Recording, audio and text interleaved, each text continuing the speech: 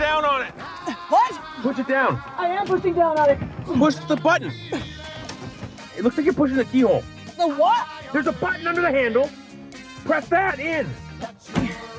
Okay. Now what? Open the door.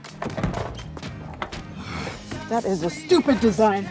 Your instructions were very unclear. Hey, I get it. Nebula's not from Earth, so she doesn't know how to open a door. But how was Groot able to do this?